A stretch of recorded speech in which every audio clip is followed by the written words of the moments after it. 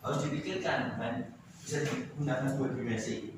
Atau juga sekaligus bisa tiga dimensi. Karena kalau tiga dimensi bisa jadi dengan sudut pandang yang berbeda bentuknya berubah kan berubah. Tapi kalau yang yang ada di dua dimensi itu melihatnya cuma dari depan. Sementara orang sendiri kan bisa dilihat dari depan dari belakang. Kenapa orang jarang dipukul dari belakang mas? Karena kelihatan kelihatan loh kenapa? Kenapa harus wajahnya yang muncul? Sama aja kelihatan kan, kakinya kan. Kenapa Pak? Pernah nggak ada pernah nggak difoto dari belakang?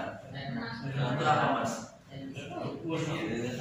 Artinya ya tadi kita diidentifikasi seseorang itu ya karena depannya tadi ya di samping saja kadang-kadang kurang meyakinkan makanya yang meyakinkan adalah depan. Oke, saya kira cukup ya. Ada pertanyaan sebelum dipindah ke sisi berikutnya. Jadi ini hanya trigger aja mas ya, artinya saya nggak menjelaskan dengan inilah kita apa, sesuai dengan kemampuannya masing-masing ya. Hanya saya mau seperti ini ada mampu menyerapnya nggak nggak usah dalam-dalam juga. Oke, ada pertanyaan? Tidak ada? Ya, kalau tidak ada sudah biasa ya. Tidak ada. Karena saya juga sebagai dosen kalau ditanya mau pertanyaan enggak, nggak ada. Karena bisa jadi mereka nggak tahu apa yang mau ditanyakan.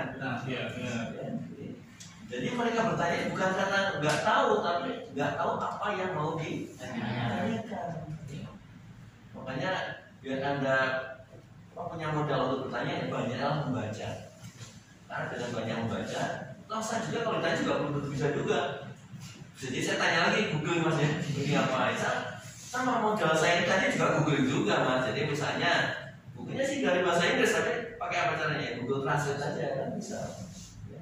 Oke ya, saya cukup. Saya cukupkan sampai di sini. Saya tutup dengan wassalamualaikum warahmatullahi wabarakatuh.